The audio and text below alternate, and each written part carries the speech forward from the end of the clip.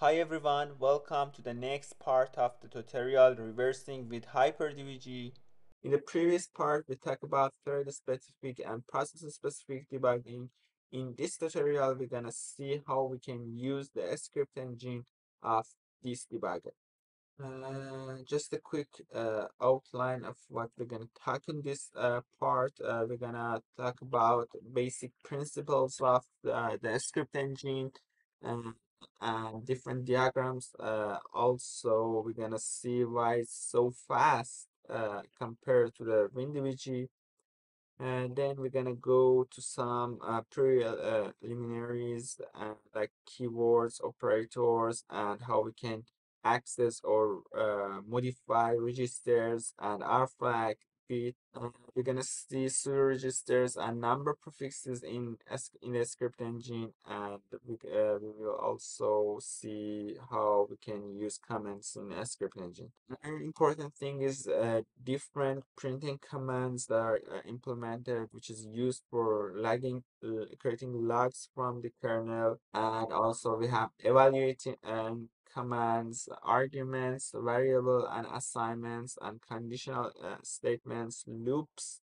Uh, these are the keywords or the basic uh, statements that are used in different programming languages, and HyperDBG is not, uh, not an exception. also talk about how we can share the resources between different cores and also so we will look at some of the script engine functions like halting functions event functions interlocked and memory functions.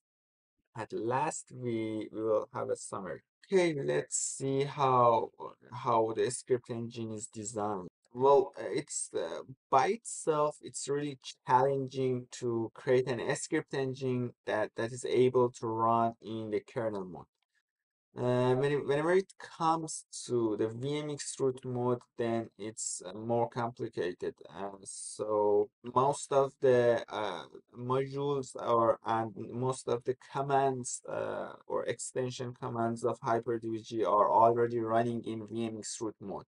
So the script engine should be uh, should support VMX root mode. And the thing is that there there are some principles that uh, HyperDBG's script engine is designed based on these pr principles. Uh, the first thing is that everything should be uh, available in both user mode and kernel mode uh, and of course VMX root mode because uh, we're gonna use a script engine in user mode and kernel mode too. Uh, we have some commands that are uh, running in kernel mode but not in VMX root mode. We will talk about them later. And the thing is that the execution of the script in each core is independent from other cores and this is a really important consideration that you should have when you are using HyperDBG's script engine. So uh, scripts are able to run on every core simultaneously. That's why we have something like resource sharing because each core is running independently. And uh, another challenging part of the script engine is that every memory access should go through a, through the safe memory access routines to avoid unhandled behavior, especially in VMX root mode. The problem here is that uh, you cannot, even though uh, in terms of Intel uh, terminologies for the ring, even though the hypervisor or the VMX root mode is uh, more privileged than the user mode. However, you're not able to easily access a user mode from the VMX root mode. Uh, so we're gonna uh, map the um, memory addresses of the user mode to the kernel mode and then we try to access those memory from directly from the kernel mode, but not in the user mode. We will talk about them later. It's uh, it's a little bit confusing. The fourth principle is that uh, HyperDBG's script engine is a CS style language which is combined with some MASM syntaxes. And it's uh, a little bit uh, like WinDBG. You are already familiar with uh, how, how to create scripts in WinDBG. You probably it won't be hard for you to learn the script engine of the HyperDBG. And the another thing is that the uh, output uh, for uh, the script engine should be transferred to the user mode through a custom data transferring uh, functions. There are a lot of ways that HyperDBG tries to send uh, uh, the messages to the user mode. It's not really easily possible by simple routines because uh, actually it's a little bit complicated to handle data in VMX root mode, but you should use the HyperDBG's routine which uh, safely transfer the buffer or the messages from the uh, from the VMX root mode and the kernel mode to the user mode um, so that the user can see the results and decide about those results. Based on these principles, it's guaranteed uh, to have a standalone and uh, fast script engine. So why this is important? Because uh, being fast brings us uh, with thousands of many functions, which uh, many options that helps us on debugging uh, the operating system and can solve a lot of challenges because uh, just because uh, the script engine is fast. For example, imagine that you can set uh, hundreds of conditional breakpoints uh, or I mean tens of uh, on tens of functions, all of them with a high rate of execution and the system is still working normally. So this is uh, really good. Uh, you you have an excellent chance of uh, debugging your target. This is simply not true about WinDBG. For example, if you put uh, just one breakpoint on a on a function with a high rate of execution, then you definitely end up with the system being unresponsive. So this is why it's important to have a fast script engine. Okay, let's see how it works internally. Actually, HyperDBG is a script engine are running in two uh, different modes. The first uh, thing is that if you just uh, pause the debugger and everything is paused and uh, you're running an S script on just one core, just one single core. So we're gonna use an S script like, uh, let me show it here. Uh, you print uh, use the printf function and uh, simply showing a message of just cre uh, creating a log from the one of the register like in this example it's rax and then uh, it goes through the lexer the parser and then uh, converts to an in intermediate format. So we'll send this ir format code buffer over the serial over the tcp the target debugger and the target debugger tries to evaluate and run the script and then send the uh, results uh, in a safe way uh, back to the user mode uh, debugger over the serial and the host if you are running HyperDBG on a uh, virtual machine. Another scenario, this is the simple scenario where we are simply uh, just pausing everything uh, we'll have some examples to clarify what I mean later, uh, probably in next parts of these tutorials. But for now, just just consider that we have two options for running a script.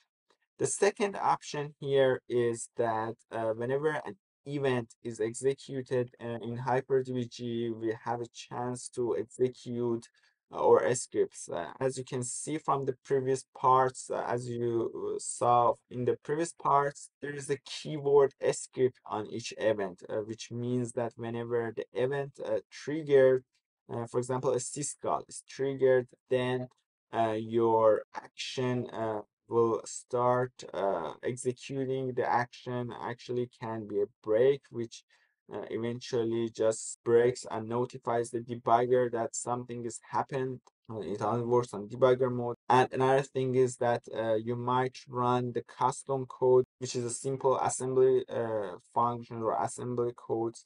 And an important function or the most important function is the script engine, which it lets uh, you to run the uh, the script you can uh, then send the result back to the debugger mode or you can just simply continue without any uh, without halting the system So uh, the thing is, uh, I explained it in the previous slide, but let's just have a fast review of why uh, the script engine is uh, so fast compared to WinDBG. Uh, the thing is that it's fully kernel side implemented. Uh, so everything is done in post kernel mode and VMX root mode. And there is no user mode interaction, which means that whenever your script get a chance to get executed in the kernel mode, then everything is executed in the kernel. Uh, this is different from uh, the way that WinDBG implements its script engine. In WinDBG, everything is passed to the debugger, which might be a user mode debugger, and you might pass everything,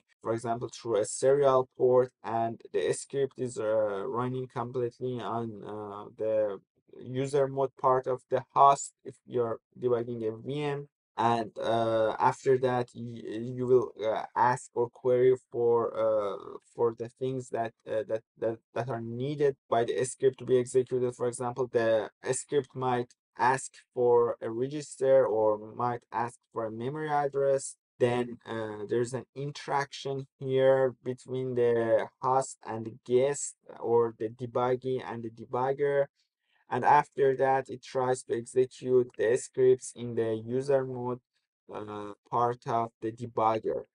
So this interaction uh, is uh, just we completely removed this interaction and everything is running uh, on the kernel side.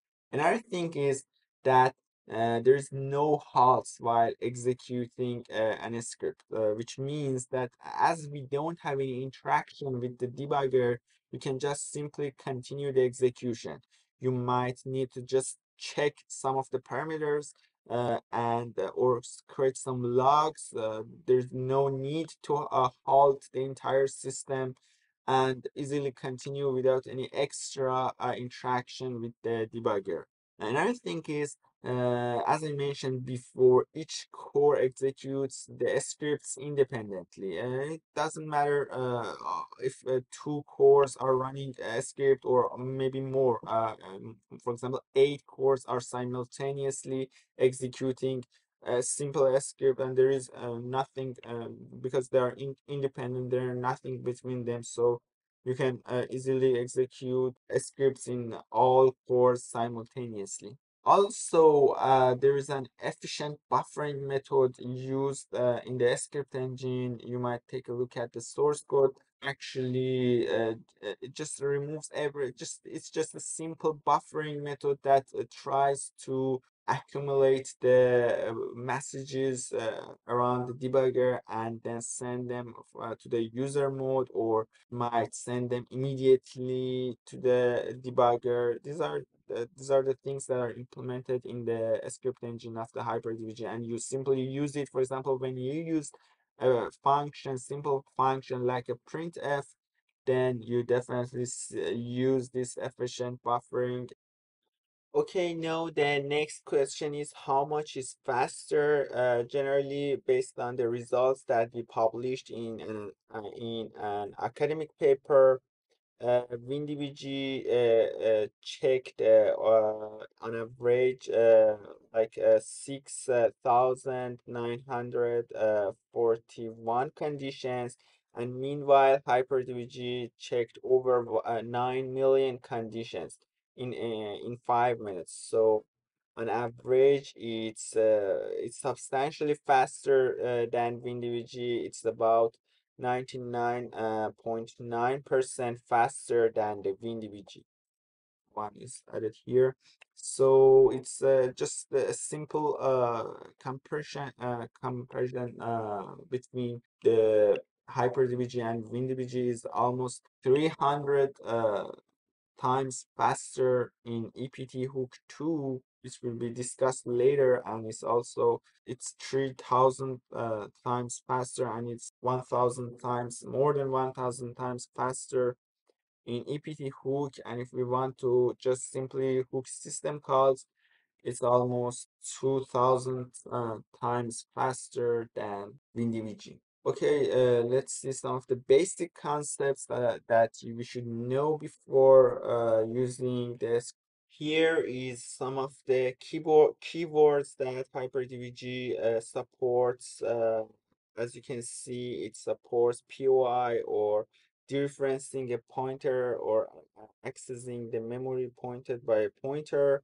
Uh, the ref, which is uh, like uh, ampersand, like and uh, sign for dereferencing, for getting the reference address of the specific variable, getting the pointer to a variable, and it also supports DB, uh, which gets the low 8 bits of uh, a variable or a uh, value. And then uh, it has high which uh, refers to high 16 uh, bits of uh, value low uh, which represents the lower uh, 16 bits uh, DW which uh, uh, DW or defined word which, repre uh, which represents uh, low 16 bits DD or defined D word uh, which refers to 32 bits and DQ or defined quad uh, which refers to 64 bits and not which is uh, which flips uh, each bit uh, each and every bits and uh, NEG neg uh, which is a true false logic flipping. And as you can see most of them are same as uh, the uh, keywords that are used uh, in WinDBG except this ref that is uh, that uh, it's more uh, like referencing a variable uh, like getting the pointer to a variable and it's used mainly in functions like splock and other functions. And here the operators that are supported by HyperDBG and it's just based on the precedence of uh, these uh, operators. You can use these operators in your scripts. Uh, it's pretty self-explanatory. Uh, I don't need to too much so now let's go to another slide uh, here are the registers that are supported by HyperDBG. Somehow like WinDBG, currently HyperDBG supports these registers and as you can see almost all of the re registers are starting with an at, at sign uh, mark in HyperDBG. So uh, if you want to use the general uh, purpose uh, uh, registers, you can just put the name of them or if you, there are also other 64-bit uh, mode registers and stack pointers. You can also access the RIP or the program counter instructions R flags and each of the bits of the R flags are also separately. You can uh, put a value on each bit of the R flags data segments uh, and uh, other segment registers are also available and uh, uh, control registers memory management registers interrupt descriptor registers and also debug registers are also available in the script engine of the HyperDBG.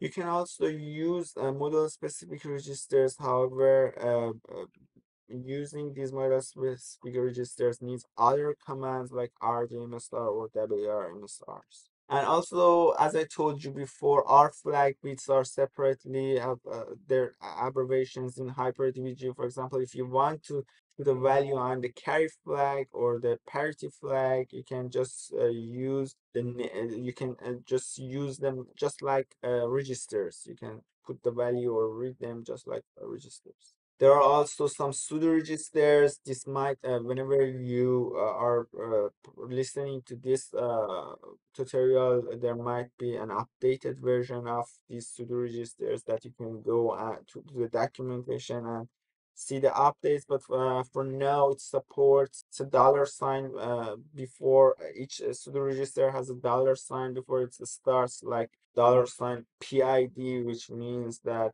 the process ID current process ID that are currently executing or PROC or PROC, uh, which is the address of the current process or the E process of the current process.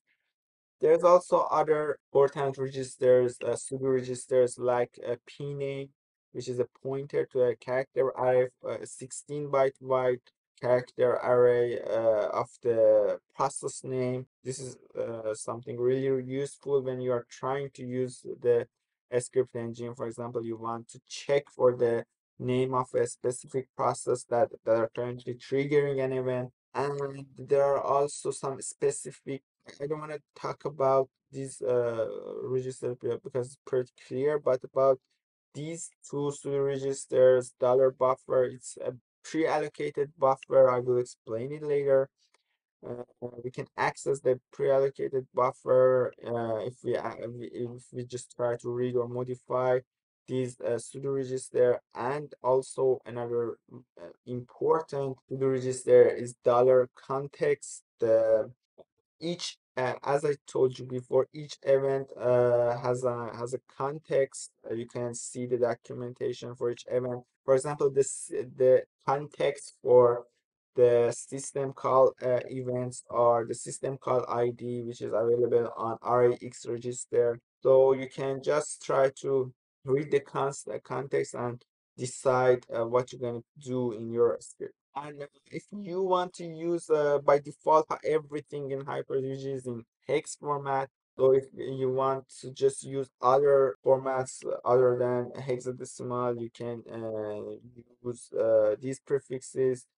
Of course, if you just put 0x, then it means the hexadecimal, but if you don't put anything, it's uh, still interpreted as hexadecimal. Uh, there's nothing like decimal in Hyper-DBG. Uh, if you want to use uh, uh, a value in a decimal format in the script engine or in the entire debugger, you can use 0n prefix, which shows that the current address is a decimal address, or 0t, which stands for octal, uh, 0y, which which shows that the uh, that the value should be interpreted as a binary value.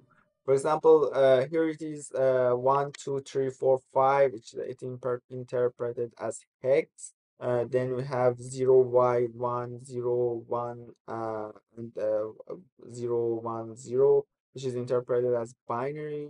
And 0, n, 85, 5, uh, 1, 2, which is interpreted in the decimal format. And 0t, 15716, which is inter interpreted as octa.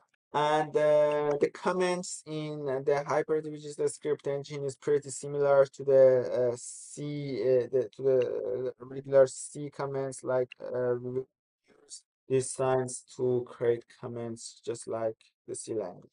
Okay, now let's see how we can print a simple value in Hyper-DBG's script engine. Uh, basically, we can use the print command to print uh, expressions. If you if we, we want to evaluate an expression, we can use the print on. However, uh, this command is not able uh, to print a variable or messages because uh, it just tries to evaluate a simple command that's not uh, designed to show the messages and instead of this if you want to show a message then you can use the printf function let's see some examples. The printf and the print command are the same. Uh, for you can use the print as a command uh, but if you want to uh, use the print uh, in the script engine you can just put some uh, parentheses between uh, your between the start and end of your expression and it's pretty okay. So if you want to just